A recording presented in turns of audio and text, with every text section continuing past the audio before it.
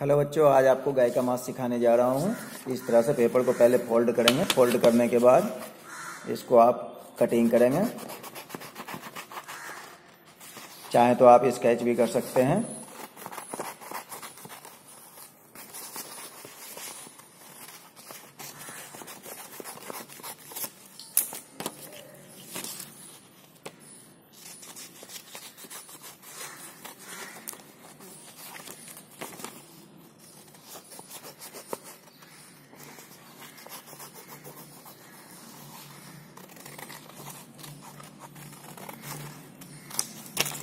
इसको आँख की भी कटिंग कर देंगे यहाँ पे।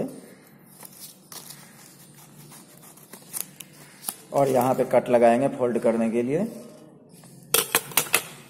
इससे फेविकोल या स्टेपलर आप कर सकते हैं। हमने अभी स्टेपलर लगा दिया इस पर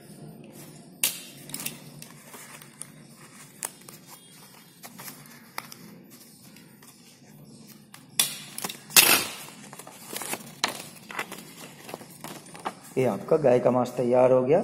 धन्यवाद।